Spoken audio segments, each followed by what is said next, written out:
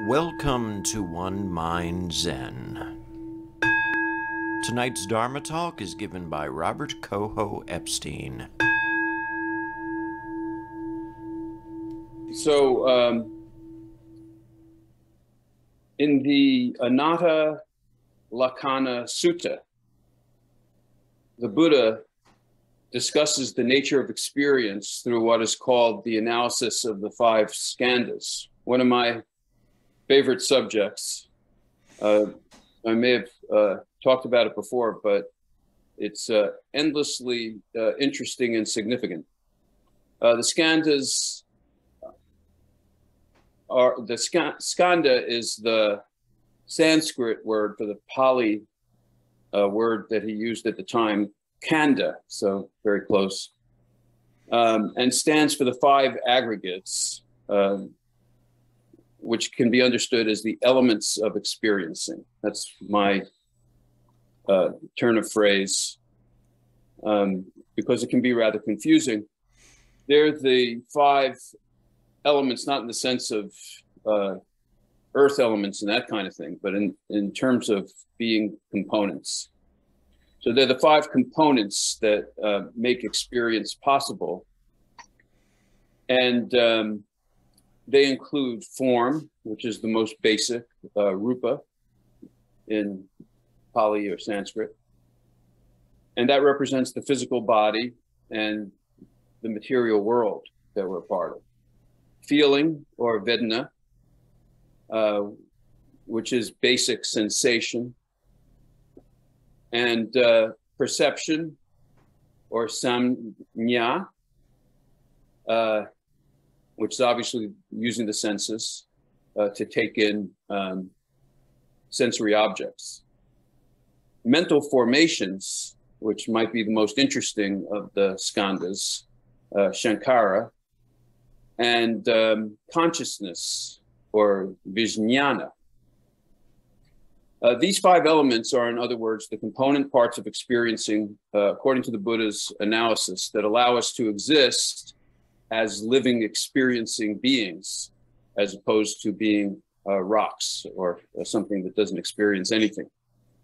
So, form is your experience of the body. Uh, in my sense of it, it includes your uh, experiencing yourself as part of the physical world, physical object among objects, although your body can feel and rocks ostensibly cannot you feel your own body, which allows you to identify yourself as a physical organism uh, that moves around and does things, and to experience physical objects. And that's part of the sense that we have of being a separate being, is that we're identified as a physical uh, organism.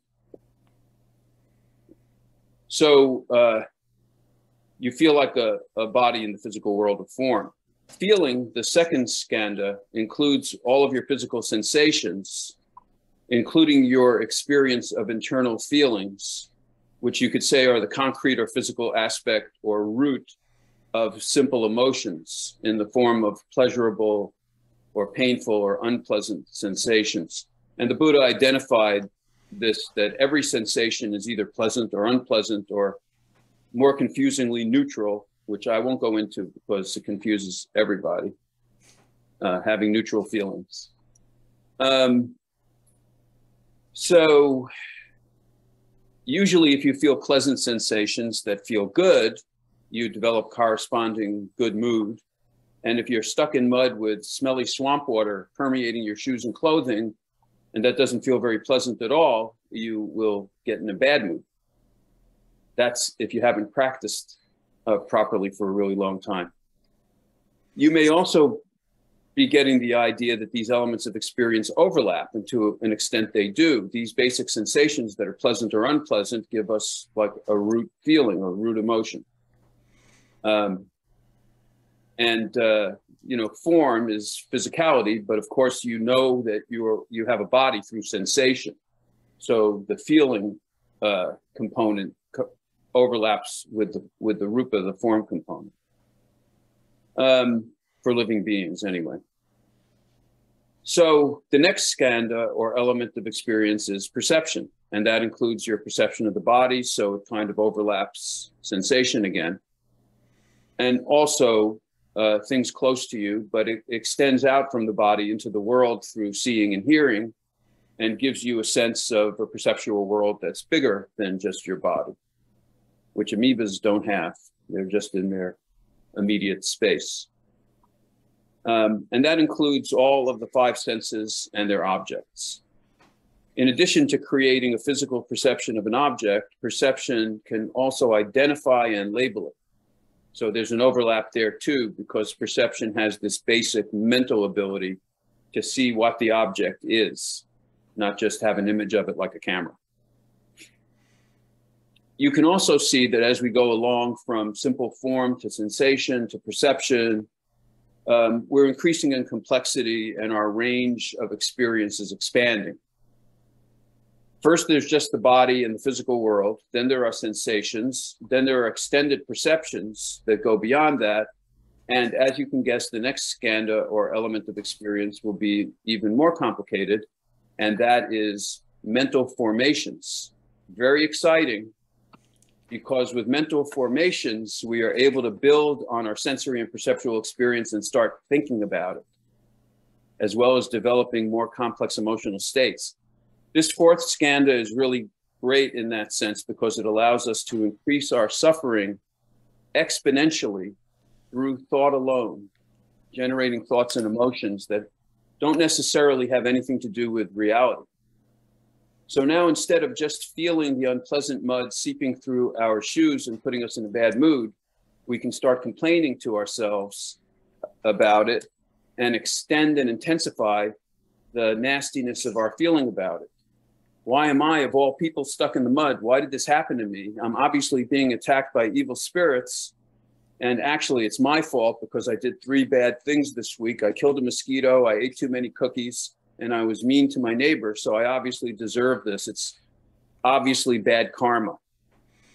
Not only do I feel bad about the mud, but I hate myself and I hate everyone else as well for punishing me. That's kind of an extreme proliferation. But this kind of proliferation, starting with uh, perception of something unpleasant and then snowballing uh, into something much larger and uh, more dire or more intense, is very common. I'm sure we've all experienced it, if not regularly, hopefully not sometimes. Um, so this kind of proliferating snowballing thought process, along with the negative emotions it generates, contributes nothing of value to our experience or our ability to get out of the mud, but it does intensify and extend our suffering. It's in this area of mental formations or proliferations that we hold, extend, and develop painful delusions somebody gives you a, a look, you decide that it's a, a, a mean look. They obviously don't like you, and you keep on thinking from there. Then, when you relate to them, you're defensive. They think you don't like them, and on and on through delusory interpretations of what we experience. And a lot of the suffering of our lives is based on that kind of uh, misinterpretation through the fourth skandha. Um, Buddha described what I believe corresponds to this level of the uh, components of experience, uh, uh, described it as being a second arrow in the parable of the two darts of the two arrows, where we have some unpleasant thing happen to us and we make it worse through shooting ourselves with a second arrow that's made of our own thought and emotion, our own reactivity. And hopefully, this uh, can be seen for what it is, and we can get a little bit of distance from it through our practice. Um, because sitting and observing sensations and thoughts allows us to hopefully be a little more mindful of what their nature is and that they don't necessarily correspond to reality. Um, so much of the mischief in our lives, if not all of it, is created in this fourth skandha, leaving aside, you know, getting hit by a, a piano or whatever that comes rolling down the street. Um, this fourth skandha of mental and emotional formations with its complex thoughts, beliefs, and emotions that we build and hold on to, uh, or to use the Buddha's words, cling to, creates a lot of the mischief and suffering in our lives. And uh, Buddha described the skandhas, in fact, and the way that they cause suffering as the clinging uh, skandhas, the clinging components of experience. And it's because of the clinging to them and holding on to uh, what we think uh, these experiences mean about us as separate beings, separate selves, um, that causes the suffering if we just experienced the unpleasant mud and left it at that, it would be unpleasant for a little while, but when it was over, it would be finished. But with mental formations, we can keep it going forever. Um, and we have similar thoughts about many of our relationships and past events that keep trauma and unhappiness alive in our minds and emotions. And many of these delusory thoughts support the false notion of a separate self because they're all about how something from outside happened to me. And I keep on thinking about how that applies to me, my well being, my survival, um, my status, et cetera, et cetera, as, as a self. Um, so it feeds the idea that we're separate and apart from, from others as we have these reactions. And finally, uh, after all that mischief of the fourth skandha, we finally have the fifth skandha, the star of the show that makes everything else possible consciousness. Uh, Buddhism has about 2 billion different words for different types and functions of consciousness. But this one, vijnana, is merely the nice, clear mental function that allows us to experience and register whatever we experience. This consciousness just arises to take in whatever object we're perceiving or feeling. And it doesn't have any reaction to it. It's simply the clear uh, window uh, by which it's seen and experienced. Um, and there's hearing consciousness for sound, seeing consciousness for sight, etc. If we have a, a visual object or, or an audible object. It's the basic sentient component of mind that Buddha addresses when he speaks of sentient beings, the living beings that his teaching is directed towards. Without consciousness, we wouldn't experience anything at all. And Buddha could have spent his 40 years of teaching just relaxing and drinking herbal cocktails uh, once he was awakened. But because of uh, our ability to experience and our mental and emotional delusions, uh, he compassionately continued to talk and teach for that entire time. Of course, in Buddhism, things are always a little more complex than they appear, and there's always a list involved.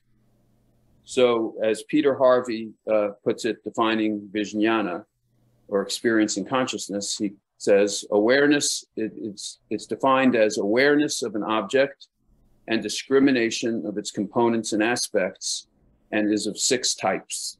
Okay, six types. But the six types just correspond to the five senses um, and the awareness of each of those sensory objects. And the sixth one is our mental consciousness or awareness of thought and, uh, and mental operations. So that's more or less a fairly crude introduction to the skandhas, the five elements that make human experience take place. And when we cling to the objects of our experience and the results of the scandic activity, we suffer. That causes dukkha.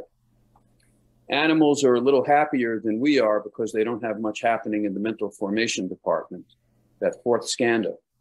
They don't generate extended delusional thoughts about things that are no longer taking place. Uh, they don't think about the other dog that they had a, a barking encounter with and think, God, that dog really didn't like me. What am I going to do the next time I see him? They just drop it once it's over. Uh, they just respond and have simple mental formations that match the moment and what they may need to do.